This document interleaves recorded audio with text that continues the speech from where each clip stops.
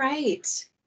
Good evening and welcome to the Caneel Bay Area Redevelopment and Management Plan Civic Engagement Public Meeting with the community for Virgin Islands National Park.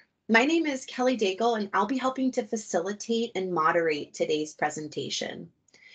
Before turning things over to Superintendent Nigel Fields, I first want to thank you for joining us virtually and I'd like to go over some logistics for the meeting just to make sure everyone is comfortable using the Microsoft Teams platform and everyone knows how to provide comments or ask questions at the end of the presentation.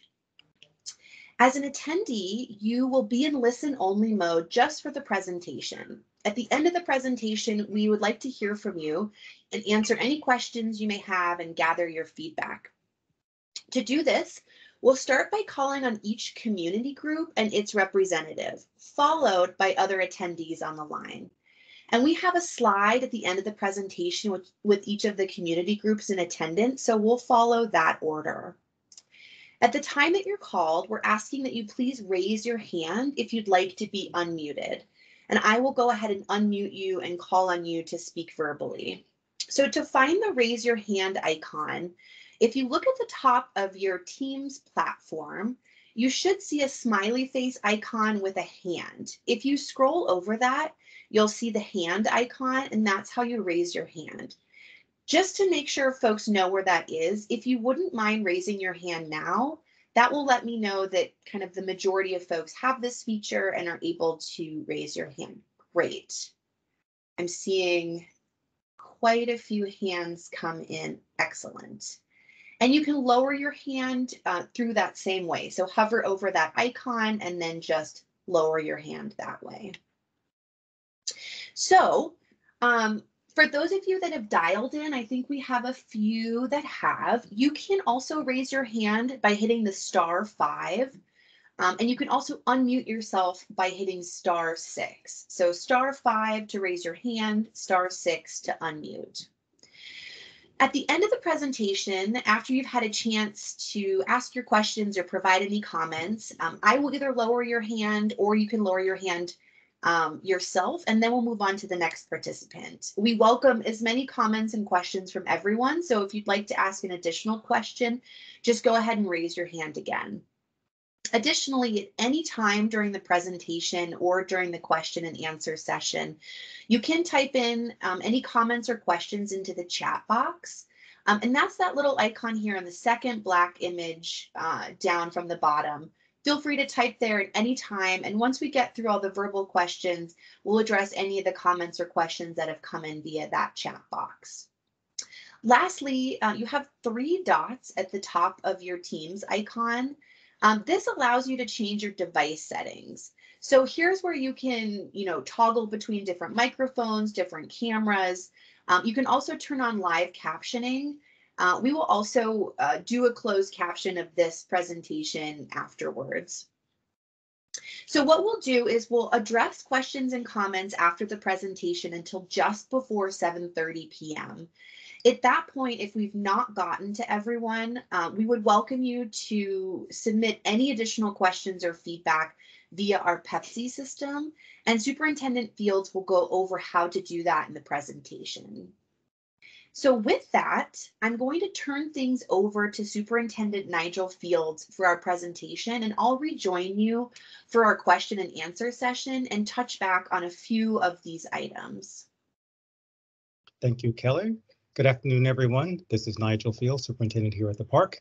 I wanted to first start off by introducing several folks on our team that are joined us. We have an interdisciplinary team of experts. Some of them are from right here in the park. Some are from our regional office, our Washington office, and also our Denver support center. So I'll ask each of them to kindly turn on their camera for a second and say hello and introduce themselves. And we can start in the order that we have here on the slide, starting with Elsa. Good evening. This is Elsa Alvear from Virgin Islands National Park.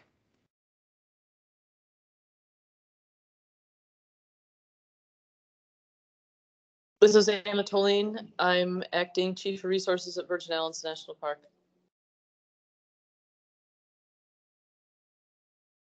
Hi, I am Linda York. I am the National Park Service Regional Coastal Geomorphologist And I am providing input as needed on any uh, coastal or shoreline concerns that come up.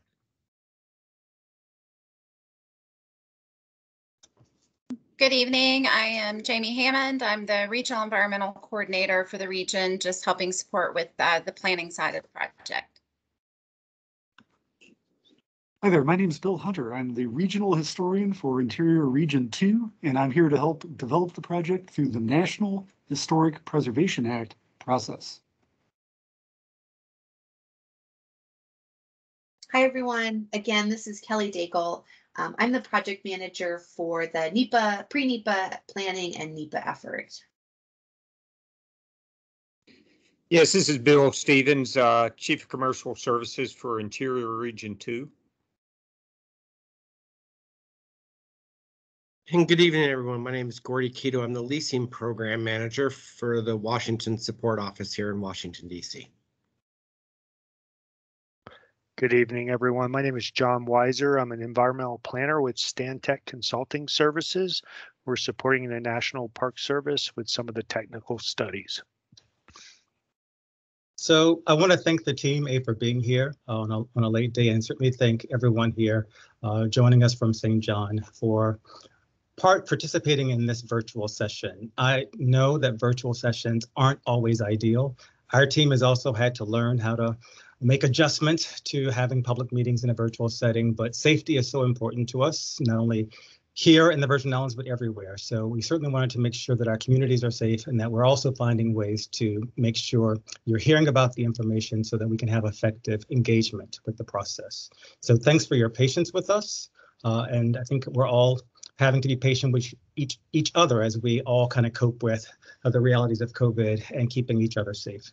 So during our session today, we're going to review a little bit of the background on Caneel. As you know, the history of the site is directly relevant to our redevelopment plans and to our discussion today.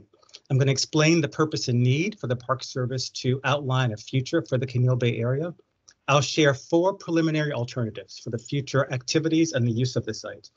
The key environmental issues that may differentially affect the outcomes across the four alternatives will also be mentioned. And as organizations and as community leaders within the St. John community, you are encouraged to provide your comments uh, on the concepts that I'm going to share with you today. We're aiming to build them up and to improve them, and your input is going to help out with that. So later on in the presentation, I'll share exactly how you can provide your public comments toward the end of the presentation. And then Kelly is going to come back on to lead us through the moderated Q&A. So from what we understand, there have been transitional and permanent settlements on St. John for over 2,000 years. Taino artifacts that are found on St. John and within the area of Caneel Bay reveal a thriving, sophisticated, and stable culture. The colonial period introduced permanent settlements of Africans and Europeans across the entire Caribbean, and Caneel Bay contains historic structures and archaeological features which speak to this tumultuous period. Caneel Bay is also a key site in the 1733 slave revolt, which sparked a series of subsequent protests against slavery in the New World. Lifeways on St. John continued to evolve during the post-colonial period, which introduced additional cultures leading to the American transfer in 1917. A focus on tourism eventually led to the idea of establishing a national park, and at the same time, Lawrence Rockefeller's interest in establishing a new model of ecotourism led him to purchase an existing modest resort in the 1950s, and he re-envisioned Caneel Bay as a resort that would focus on the natural and cultural features of the landscape. In 1983, Rockefeller donated Caneel Bay Resort to the National Park Service, and he did so using that special, unique retained use of state, which we often refer to as the RUE. And the RUE allowed the resort to continue operating independently for 40 years until September 30th, 2023. This upcoming transition next year was anticipated over a decade ago, and a public law allowed the National Park Service to determine if a non-competitive long-term lease was the best option for seamless operations, resource protection, and for continuous benefit, economic benefit to St. John. At the time, the National Park Service began negotiating with the holder of the RUE and began evaluating the site. This included nominating historic structures and contributing features to the Caneel Bay Historic District, This period also included a basic site assessment just to identify if there were any environmental concerns. In 2013, there was an unfinished report recommending the transition of the RUE into a lease. However, more environmental investigation was needed. And between 2014 and 2016, there was more environmental sampling that was done, and, and it revealed that there were contaminants of concern, and those were described in a 2017 report. But then again, in 2017, Hurricanes Irma and Maria came through, causing severe damage to the Virgin Islands and also to Caneel Bay Resort. The resort closed, and to date, the overnight accommodations have not resumed. This event changed the equation, as the goal was now not only to establish a National Park Service commercial agreement of some sort, like a lease, but now we have to potentially rebuild the resort.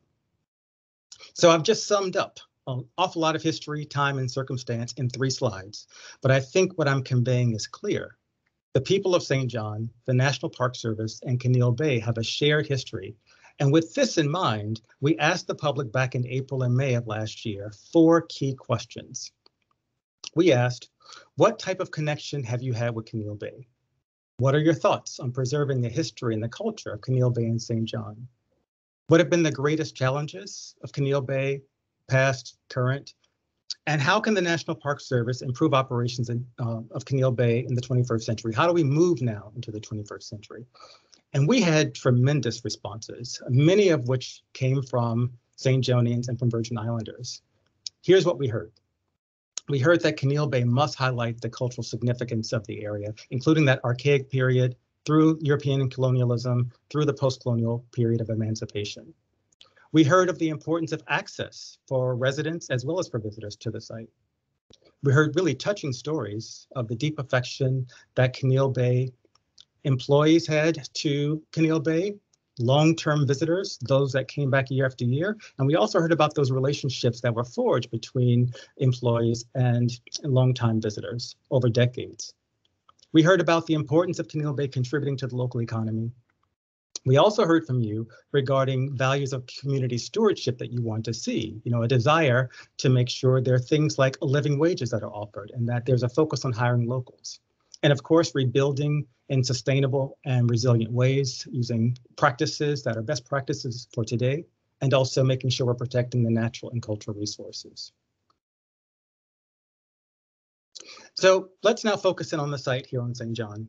Um, as you know, uh, we're uh, wanting to focus in on the red box there to the left. We're also going to speak a little bit on the maintenance area right downtown in Cruz Bay. That's going to be relevant to two of the alternatives. And then on the right, you see the area of um, the resort itself.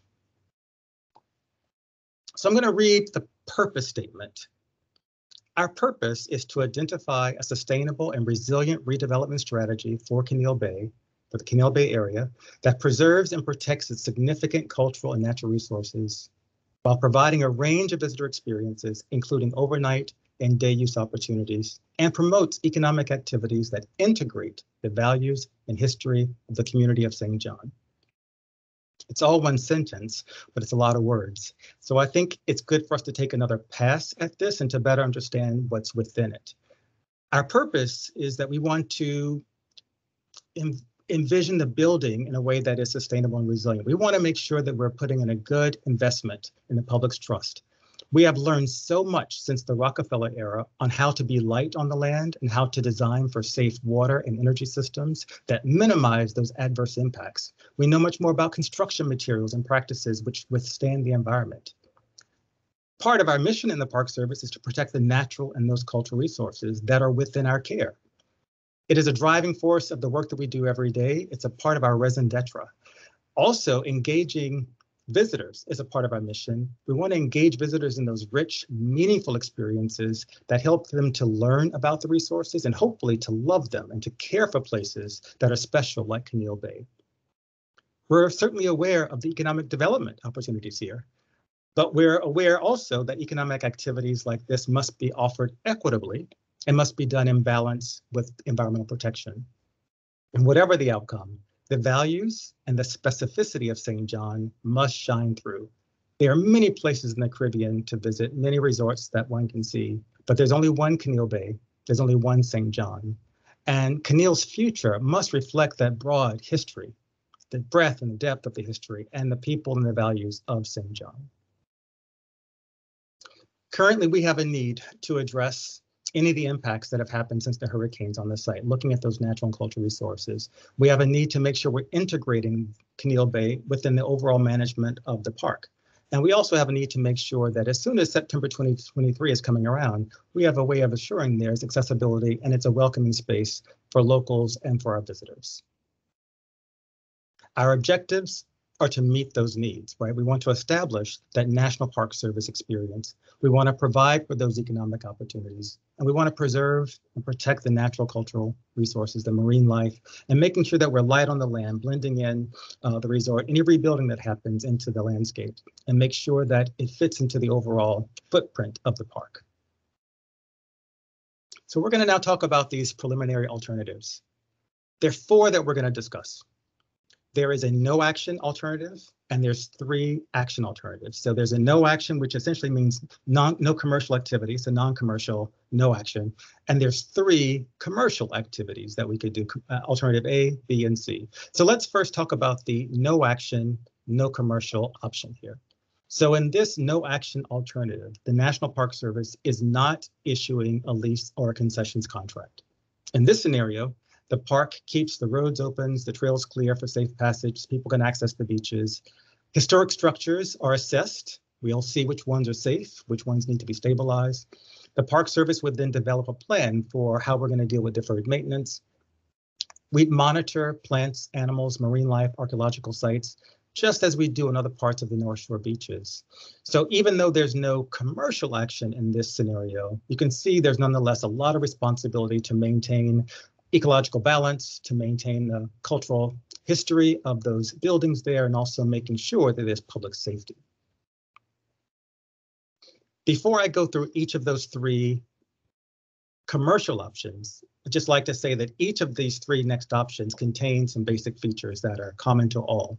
Uh, one, all of them contain um, um, greater access uh, to the public to, to the site. All of them focus on protecting cultural natural resources. Whatever redevelopment would happen under these commercial options would be light on the land, be sensitive to, to the landscape and the geographic history of the space. And all of them would try to bring about that St. John focused experience, that that sense of the history of the and the depth and breadth of, of the community here. So let's take a look at alternative A. This is our, our proposed action at this point. So you'll see on the map on the right, there are five colors on the study site, and we're going to go through each of these colored zones. Uh, let's first talk about the purple area on the map. The purple area is designated as the resort zone. So imagine a rebuilt Caneel Bay resort with a variety of overnight accommodations. There's recreational activities, spa services, outdoor event spaces, restaurants, virtually all the things that were part of the original footprint but without the need for the entire 150 acres. In this scenario, most of the features and functions of the resort and the things that people come to expect with Caneel Bay, that kind of one of a kind resort experience, most of those are maintained while also making room for some other opportunities. And that's going to take us to the blue zoned area there. So let's look at the blue zone. So imagine a National Park Service style experience at Honeymoon Beach for day use imagine that you can take the trail from Lind Point, connect those along Caneel, uh, Bay Beach, going out to the entrance, tying into the Tamarind Trail, the Caneel Hill Trail, also being able to go all the way over to Turtle Point. Day use at Honeymoon Beach could include water sports. It could include local vendors, local foods, local crafts, a snack shop, and a comfort station. The commercial activities at Honeymoon Beach could operate under a concessions contract or a commercial use authorization. If it's under a concessions contract, that could be independent of the resort area, the purple zone there. Looking up at Hawks Nest Beach there, just under Turtle Point, the other blue area, at Hawks Nest, there's another potential opportunity for commercial activity here as well, which could include overnight accommodations, priced more in a mid-range area. So this pricing could form a niche between, say, Cinnamon Bay Campground and what could be the higher end um, price range uh, within the resort. So this day use area under Hawks Nest could also be open to the public, and that would essentially open up more of Hawks Nest Beach to the public, all the way from the area that's proposed under the under under Turtle Point, uh, along a potential uh, old road bed that we could map out and create a new road there, going down the hill to the Hawks Nest Beach that we all know and treasure. So all of that then becomes more open public space if in this scenario.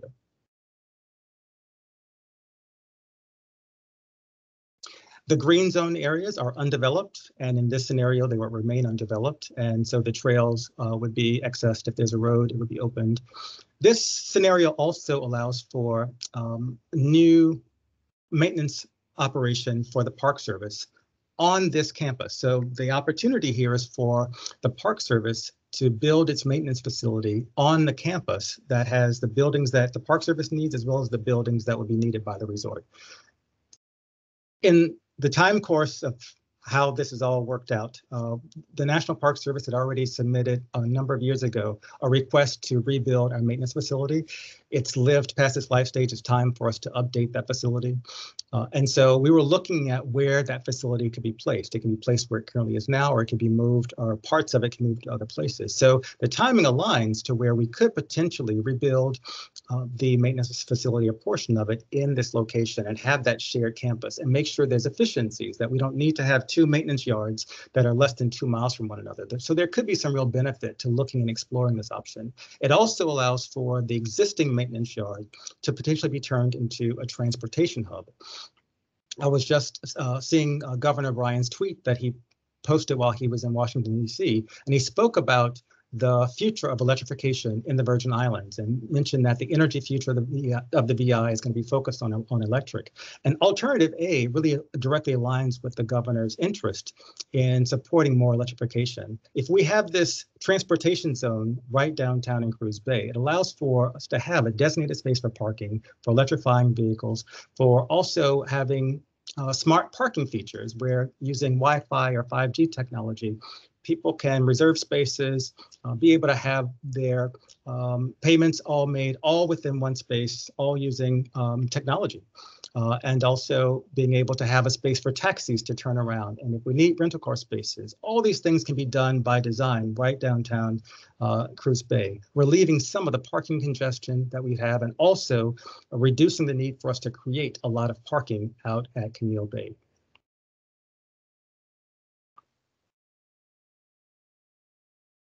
Alternative A also includes what we call the interpretation and engagement zone. This allows for the National Park Service to interpret many of those historic features that are, are present on the site, the, uh, the mill and some of the other features from the colonial period and also from the post-colonial period that are still present.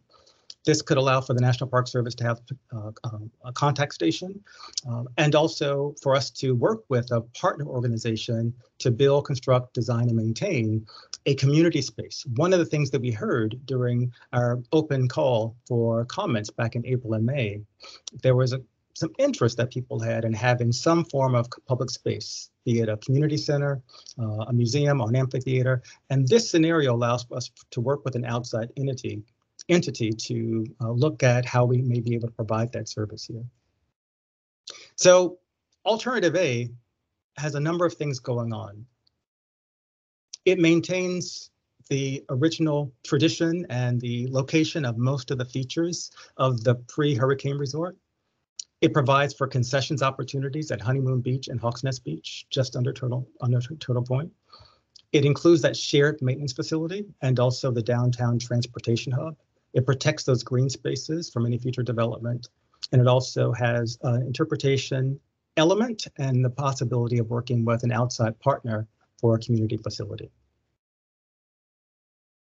Alternative B is fairly similar to Alternative A, the difference being that Hawks Nest Beach now is a part of that original footprint of the resort, and the responsibilities and the access there would now be managed by uh, any potential lessee to the resort zone. We've also, in this scenario, removed that National Park Service contact and the protection of those resources and interpreting those resources would be a part of the responsibility of any lessee in this in this scenario. We do maintain, though, the uh, Hawks, the, the Honeymoon Beach area as a potential concessions contract or other public access area there. And we also maintain that shared maintenance facility, that um, that maintenance campus, which could also allow for that transportation zone right downtown Cruz Bay. And this also allows for that community space for us to work with an outside partner to still have a space for either an amphitheater, a museum, or community uh, community space. Alternative C keeps the resort in its current footprint and all of the commercial activity is given to one potential lessee or one potential commercial entity. So uh, all the responsibilities then for access, for interpretation, for protecting those sites, all those things then fall under the contract for that one lessee. Uh, it makes it where it's just one entity that we're working with but then there's all the responsibility we're conveying to that one. In this scenario, the maintenance facility um, would just be only for the resort. We would not have that shared facility there. We would not, in this scenario, have that community space available, and there wouldn't be a significant National Park Service presence here.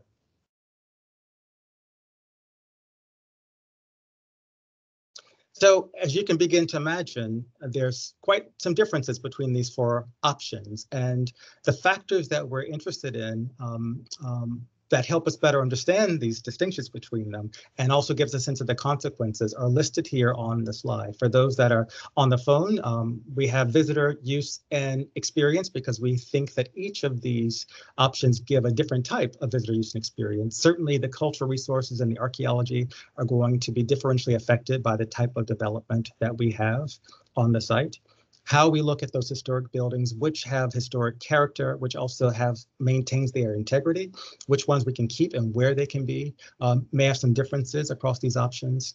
Looking at the marine resources, the cultural resources, the stabilization of those beaches, what type of activity may um, need to be mitigated based upon the level of development there. Being very careful about the floodplains. We certainly want to be mindful of storms in existing flood areas and where we need to be careful about rebuilding and what things we can mitigate, do to mitigate any potential flood hazards there. So these are some of the environmental concerns that we're focusing on now. And we also feel that many of the members of the St. John community organizations have a lot of information that you can also share and offer comments on for many of these features, especially things like the visitor use uh, and, and experience. We really want to make sure we're thinking very broadly about the potential use of the site.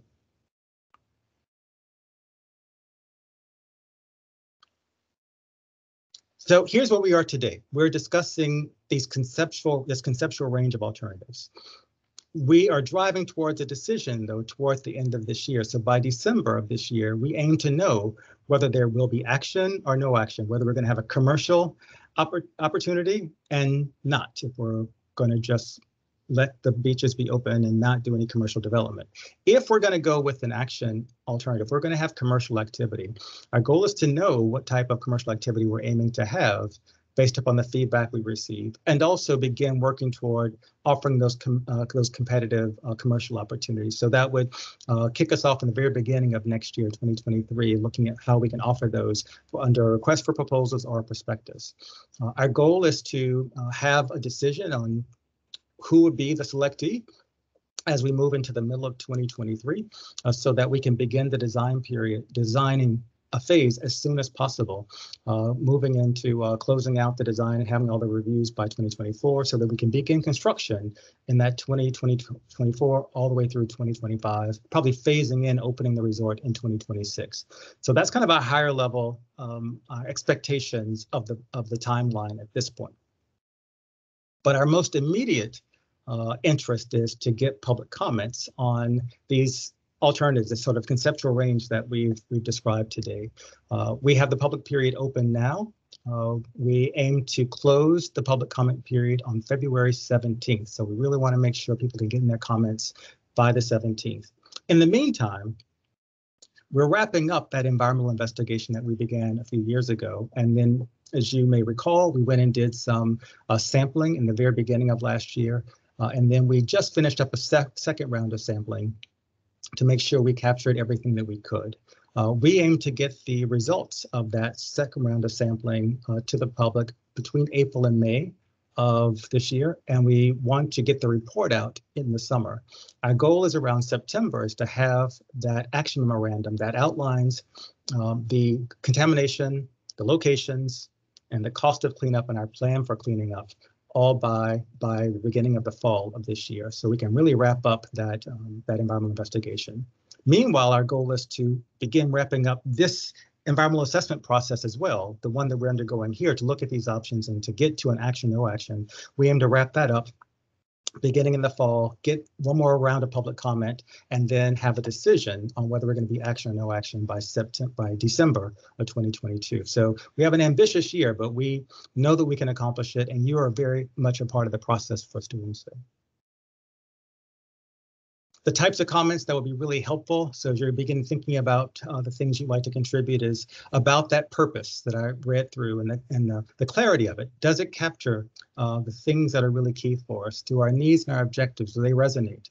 Um, the feedback that you can provide on those conceptual range of alternatives, what's there, what's missing, and importantly, what types of activities uh, should happen at Bay going forward. And are there data points that we need to be aware of? Is there other additional information that we need to analyze to make sure we're really evaluating the consequences? Our goal is to get to the best option by evaluating these consequences so that we can be mindful of the impacts of any future activity on the site how to comment. So you can make your comments known to us by going to parkplanning.nps.gov slash Caneel Bay Redevelopment.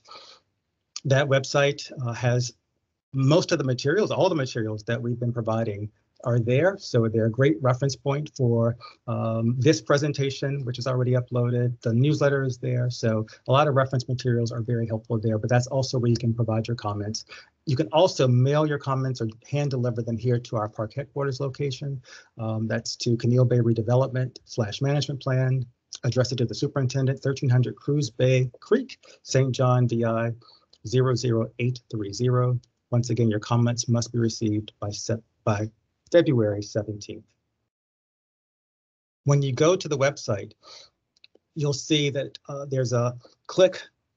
You can click on the space for open for public comment. After you do that, it's going to open up the space for the newsletter. You click on that and you'll see the box that pops up to say comment now.